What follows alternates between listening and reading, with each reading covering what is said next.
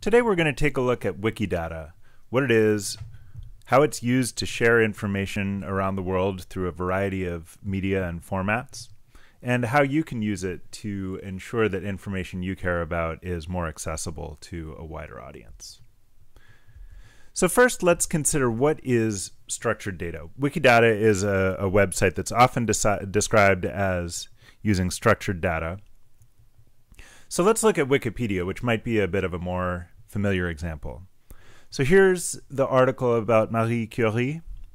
And this is a very well developed article on Wikipedia. As you can see, it's uh, it has the good article status, which indicates that it's been through uh, some peer review.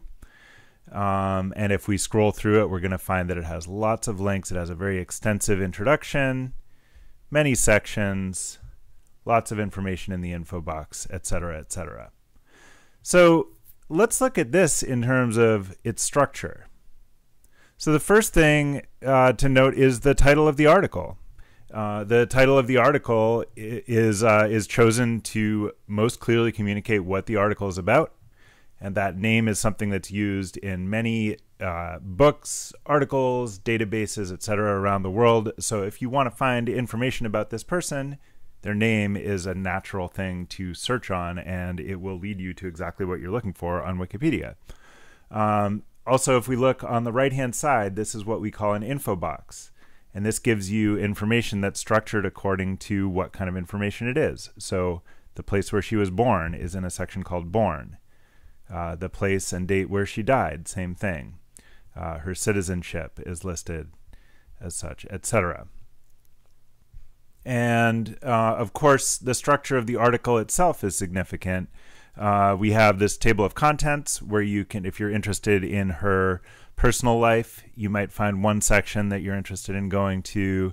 If you're interested in what she won a Nobel Prize for, you can jump right to it because it's structured in a data in a table of contents.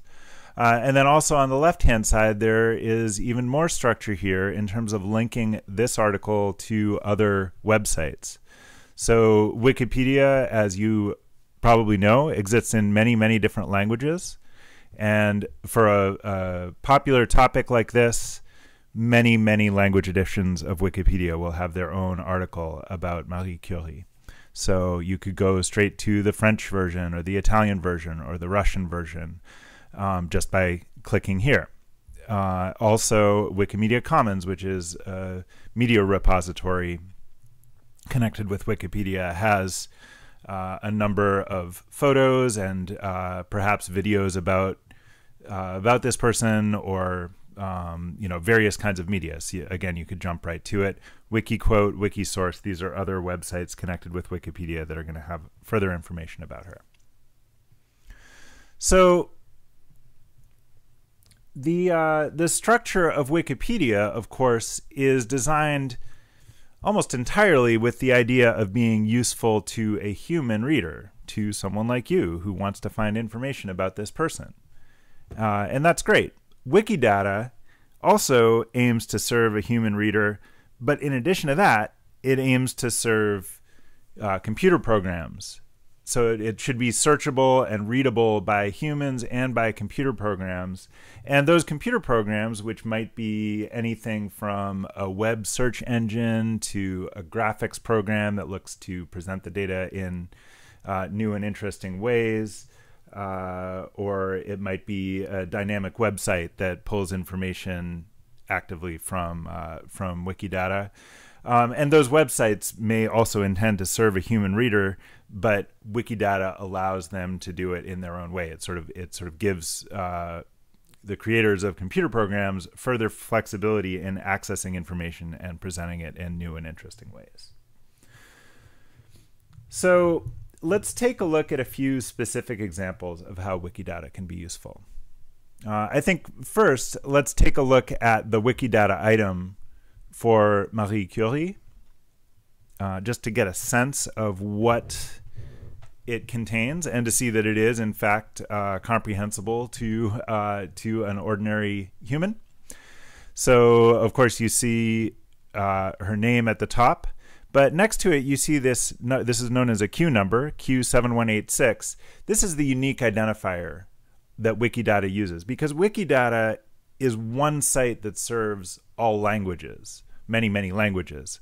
So, since we're looking at this uh, from a web browser that has English as our language, uh, it knows to show us the English name.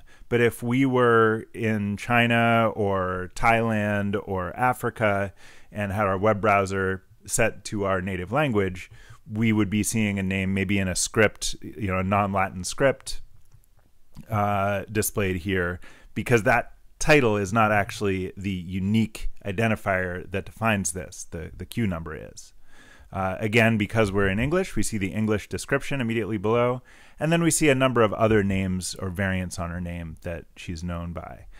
Uh, if we want to see more languages, I just collapsed that uh, a little prematurely, but you can see here a few common languages are listed at the top. You can click all entered languages and see even more, more information, and you can see that we have labels in different scripts. So this is what would display as the title uh, and descriptions as well as as well as uh, alternate names. If we scroll down a little bit, we're going to have a number of statements. So this is really the core of what Wikidata is. It, it takes factual statements that might or might not appear in the Wikipedia article and puts them in a more structured format. So this item is an instance of a human. This is an, this is an item about a person. So on the left here, these are these are things that are known as P numbers. So P numbers and Q numbers are kind of the core of how Wikidata works. So a P is a property, and a, a Q is the value that's attached to that property. So it's an this is an instance of a human. We can see that there's a reference for this, and it tells us that it's pulled it from BNF authorities, whatever that is. Uh, we could click on it, presumably, to learn more about it. Um, we can see that uh, this is part of Pierre and Marie Curie, um, so this is, uh, I guess, uh, the couple is an item also entered in Wikidata. That may not be the most obvious example, so I'm going to skip past that. We see that there are a couple of images attached to it, and so this makes these images prominent and readily available uh, to any program that might be querying this database. It tells us that this is a woman, uh, what countries she was a citizen of, her birth name, which you notice is different from the name that we know her by.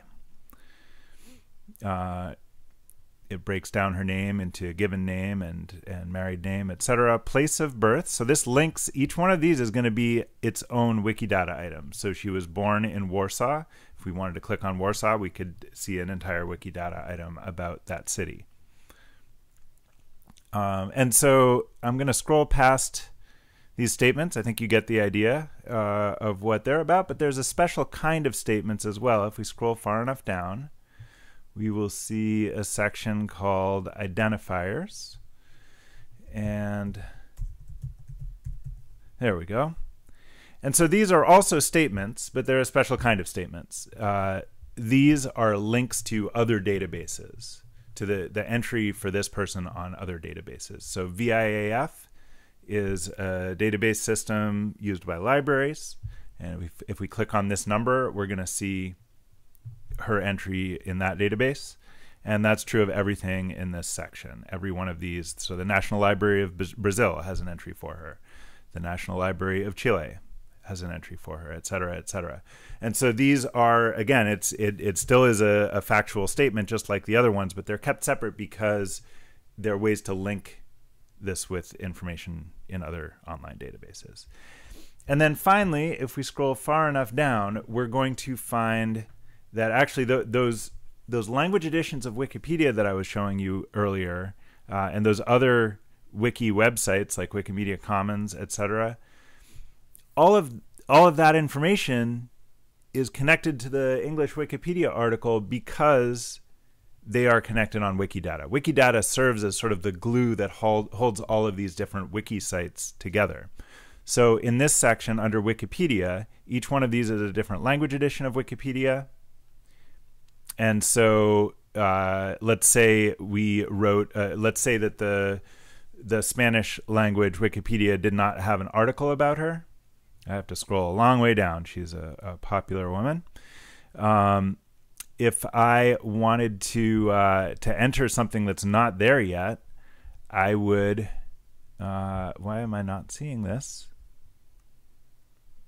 Uh, for some reason, I'm not seeing the entry where I would add it. Maybe because she already exists in every Wikipedia. I'm not sure, uh, or maybe I'm not logged in. I think somehow my login broke here. So I, I will skip past that, but you can see the, the, the fact that she's attached to these different databases, this is what allows that to be displayed in the left-hand column. So uh, now let's take a look at one. This is going to be the Library of Congress entry. So this is one of those databases in the identifiers section, and this will give you an idea of how another online database would display similar kinds of information. So again, you see uh, specific entries about her name, variants of her name, additional information. And uh, an interesting one here is if you scroll down, you'll find under sources, it tells you some of the, the sources that the researchers at the Library of Congress found uh, that would give you more information about her.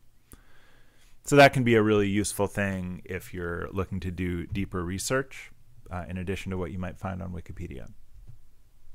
So let's look at how all of this serves different kinds of programs. First, let's look at a, uh, a web search engine. So here I have done a search in DuckDuckGo, and this would be very similar on uh, Google or Bing or any search engine. I searched on her name. On the right hand side, you see that there is an info box, very similar to what we saw on Wikipedia. Um, it tells us where she was born. It gives us structured data. It tells us where she died, her citizenship, if we click this down arrow, we're going to get a whole lot more here. Now, all of this information, I believe, as of now, as of 2021, this is generally pulled from the info box on Wikipedia. Um, and some of it is pulled from other sources on the web. You see there's a link to the IMDb page about her. I don't think that's pulled from Wikipedia. I think that's because they are also attaching IMDb entries to specific topics. Uh, but in the future, Wikidata aims to be and is is almost certainly going to be the main place that web search engines are pulling information like this for their own info boxes. So by adding to the Wikidata entry, you can actually influence what shows up prominently in search engines.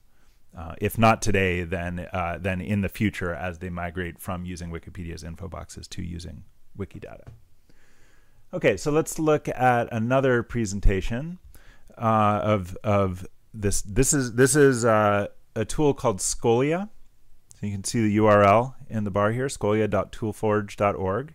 So this is definitely one you might enjoy playing with yourself uh, with a topic that you're interested in. This is a tool that displays the information contained in Wikidata in uh, in a variety of different ways. So it gives you an excerpt from the Wikipedia article to give you some information about who she is. Then, as we scroll down, uh, this first section is a list of her publications. So each of these is going to link to a Wikidata item.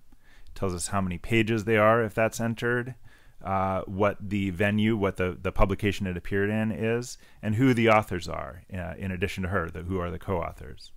And then if we scroll down, this is the number of publications per year. So she had one publication in 1907 and 1910. She had two publications in 1921 and another one in 1931.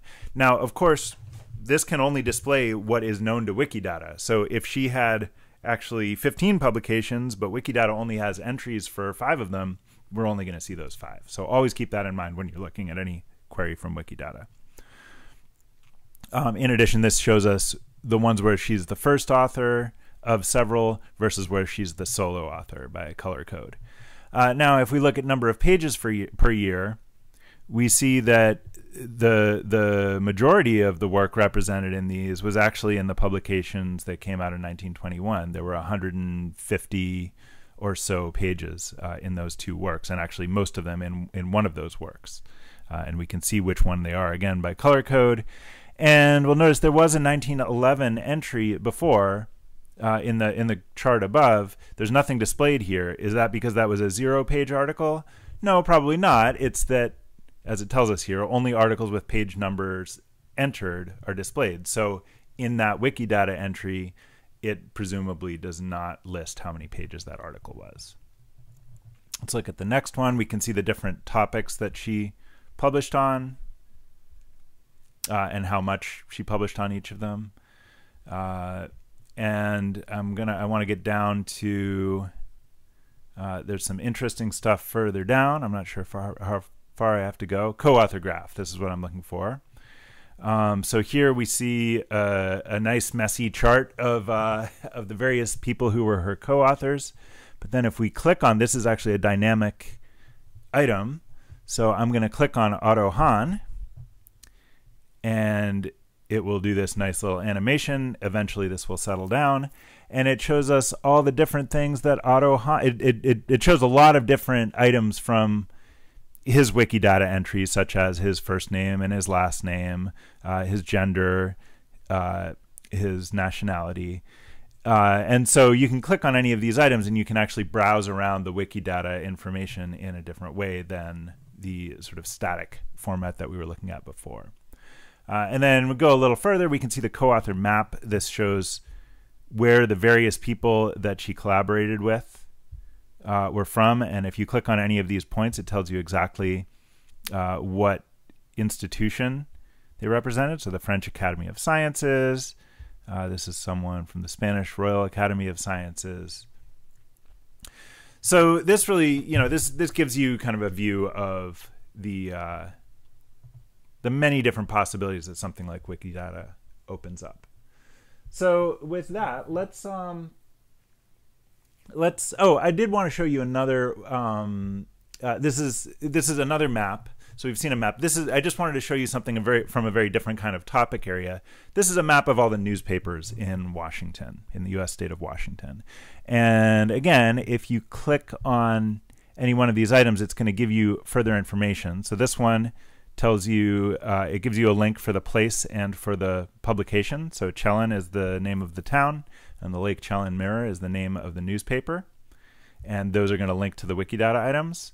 Now, the red dots indicate in this particular view that there is no Wikipedia article associated with this publication. The green dots and the yellow dots will have a Wikipedia article. So let's uh, let's click on this one here. So the Wenatchee World, you see now there's an additional link that's going to take you to the Wikipedia article.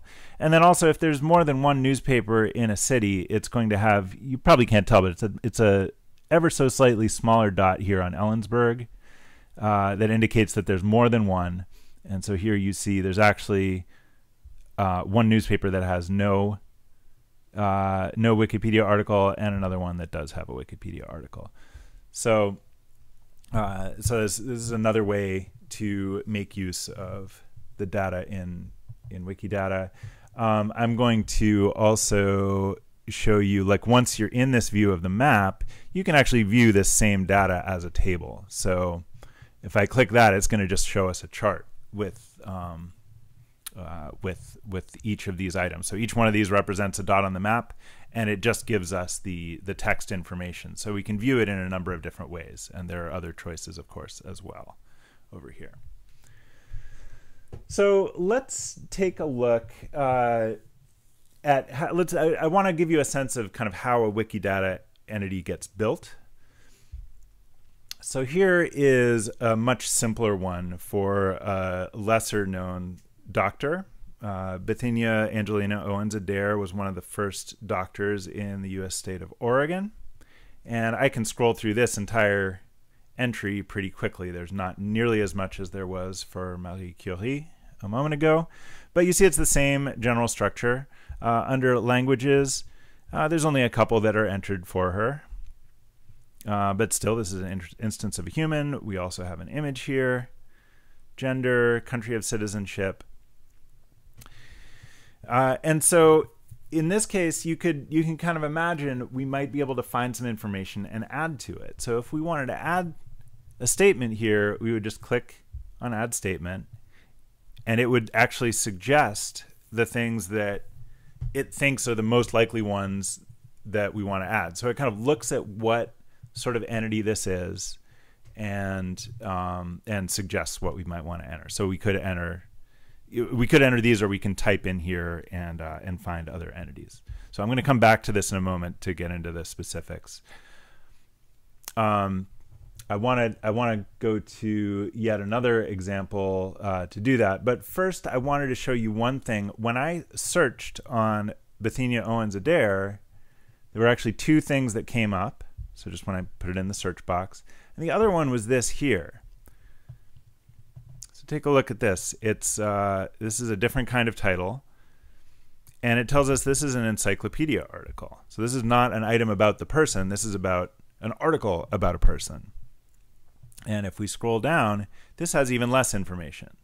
It's an instance of an encyclopedic article. It tells us what the title of it is and who the author is, or uh, the, the name of the author, and that it was published in 2018. And it has one identifier.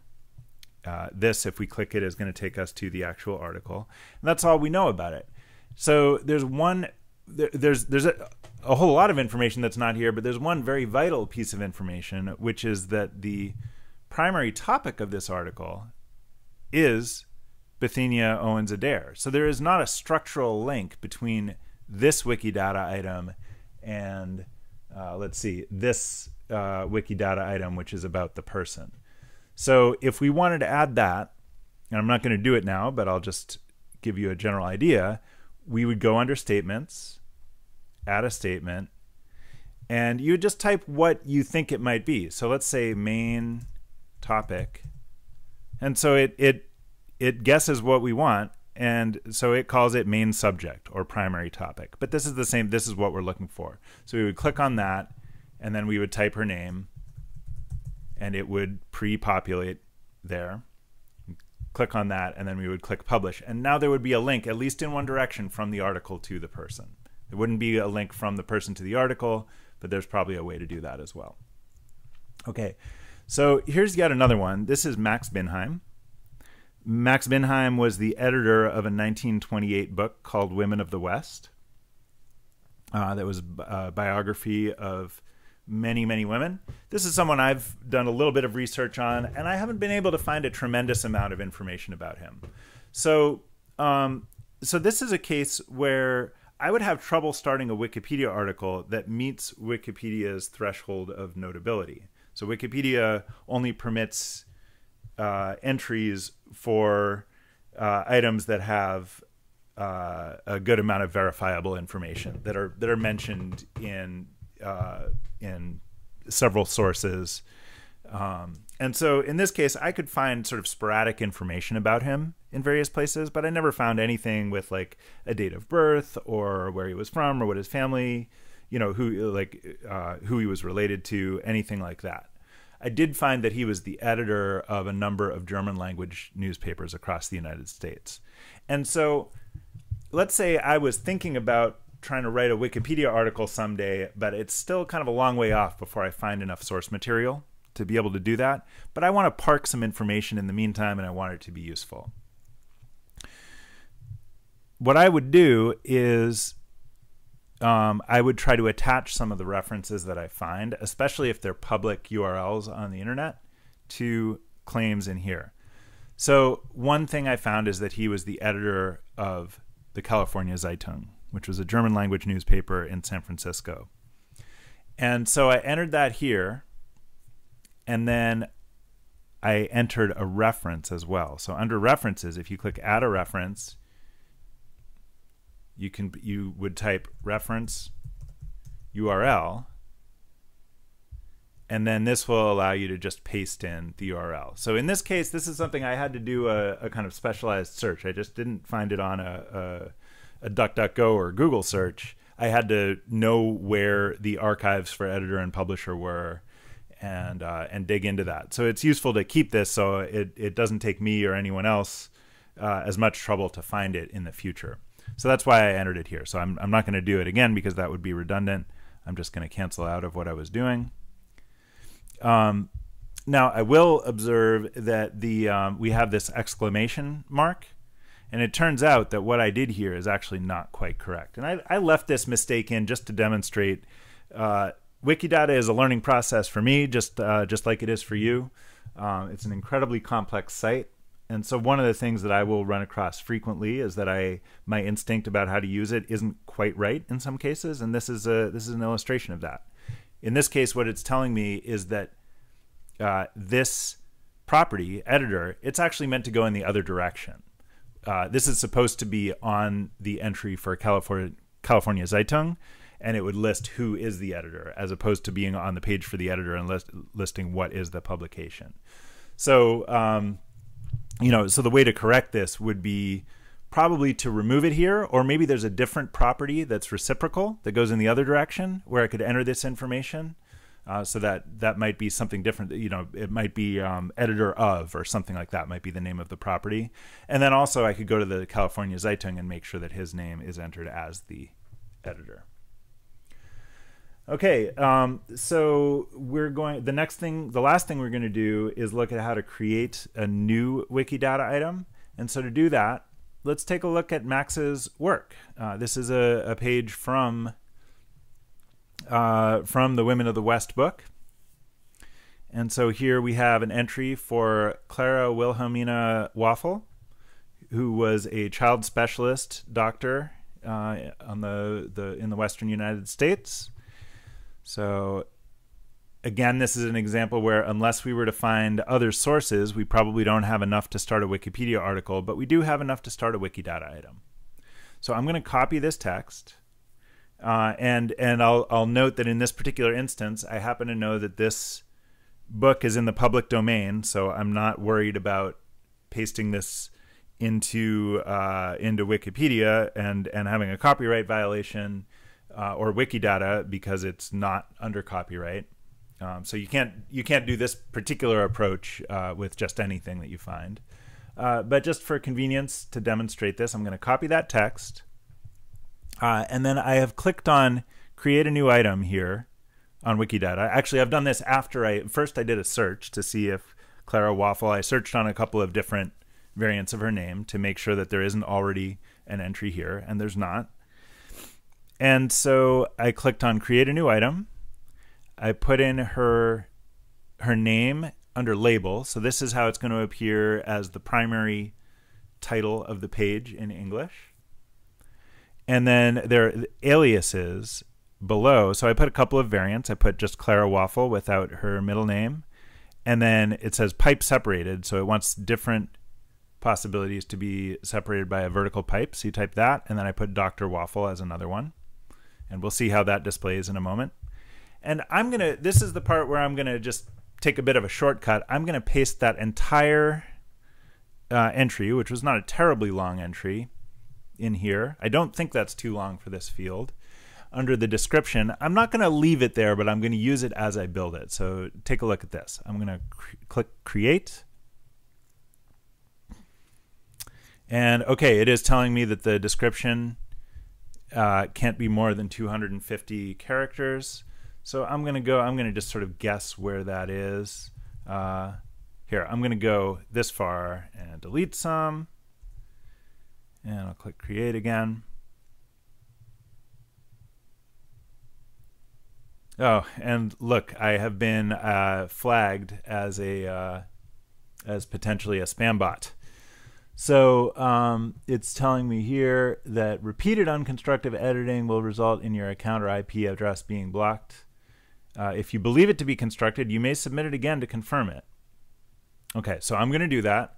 Uh, this is, I guess, confirming that uh, that this is maybe not the best approach, uh, but you'll see why I'm doing it for the for demonstration purposes here. Uh, it's because I want to have just all in one screen. I want to be able to take some of these items in the description and turn them into statements. So you can see this, this top section should look somewhat familiar. Okay. And now it tells me that she was born in San Francisco. So I'm gonna I'm gonna add a statement. First, I'm gonna say this is an instance. So I click on add statement, and it suggests what it thinks I want. So this is an instance of a human. We've seen that before. Oops. Okay, and I'll publish. And next I'm gonna, so we can continue with that uh, add a statement and just follow what it wants us to do. Um, I'm not sure why this keeps jumping my screen. I'm going to just bring the size down a little so I can see everything. Okay, so now if I click on add a statement, I, I'm going to skip sex or gender. I assume this is probably a woman, but I don't, I would probably want to be certain before I enter that. Um, occupation, I know, is a doctor. Okay, so it says physician or doctor. And I'll just click publish. And I do want to put in this born in San Francisco. I'm going to go back to where I copied this from and I'm going to copy the URL because I'm also going to add my source for this. Okay, so let's see. So add a statement and we will say place of birth. And I'm going to say San Francisco.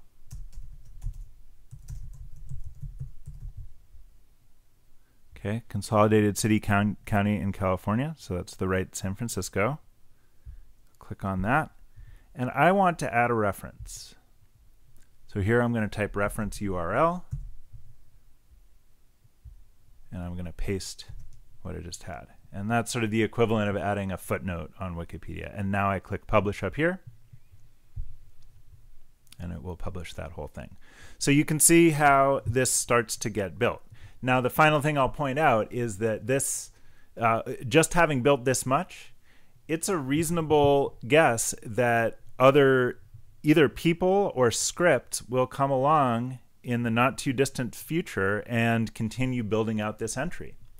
So uh, there are there are bots and scripts that will add basic descriptions uh, for different land labels for different languages um, that will likely come through, and uh, and also they will link it to other databases. And as an example of this, I'm going to go back to our example of Max Binheim that we were looking at before. So I created this item uh, just a couple months ago, I believe in January, but I didn't put any of these links to identifiers in other databases. I count one, two, three, four, five, five, yeah, five different databases it's been linked to. All of that was done by someone else. So there are people who are kind of uh, doing various things by manual or automated processes to find links to other databases. And then once there's a link to another database, the information from that database becomes that much more accessible and uh, people will start to add more statements to the item itself as well. Uh, one final thing before I wrap up, I did point out that description I put is really not a proper description at all. Uh, I was just pasting it there as as sort of a stepping stone to add statements. So I do want to go back in and uh, and clean that up a little bit. Um, I was adjusting the size here because for some reason it was giving me scrolling difficulties get back to something a little more legible. So I'm going to uh, click this general uh, edit button up here to uh, to edit the description. This will look familiar by now. So at the beginning here, this is just what it had at the beginning of the encyclopedia entry. Um, so we don't need that, right? That's redundant of the name that we have above and the statements that we have below. Child specialist well that's uh, that's not really uh, sort of the right way to begin something like this. What we want to say that here is probably that she was a doctor. And i'm going to say from the west coast of the united states uh, I, am not going to say from San Francisco because I'm not really sure, uh, without reading that more closely, if her career was in San Francisco or if that's just where she was born and then she became famous somewhere else. So, but because she's in the Women of the West book, I'm sure that it is uh, in the Western United States. So let's just, uh, and then I'm going to just delete everything else out of there. Uh, we can go back to that source to add statements, but I don't want to leave something that's kind of messy and out of sync with how Wikidata is supposed to be. So I'll just click delete and publish. So there we have a new Wikidata entry that can grow over time. So I hope this has been a useful introduction. Obviously, there is uh, is much much more depth to Wikidata, but this should give you a general sense of uh, of how it's structured and how to start building entries.